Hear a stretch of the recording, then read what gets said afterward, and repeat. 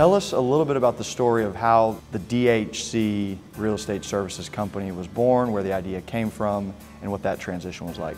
There's a lot of overlap between the culture that we have as veterans and the cultural community that I've brought into my organization, which is entirely staffed by veterans. When I approached the leadership of Cushman, I said, listen, I have this idea that I should set up a firm.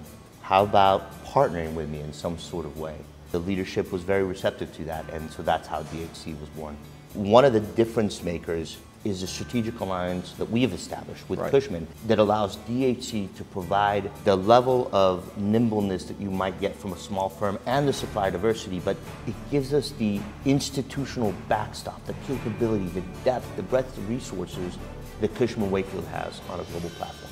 I think it's a testament to how special Cushman & Wakefield is. It's also a place that respected that sort of culture.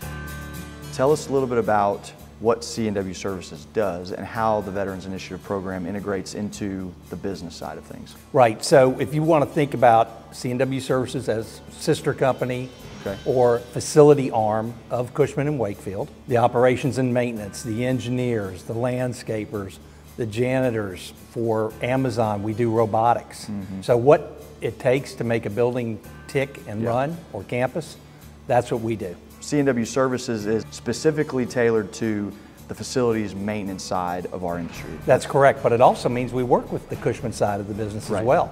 So asset services, operating office buildings, cleaning office buildings for Cushman.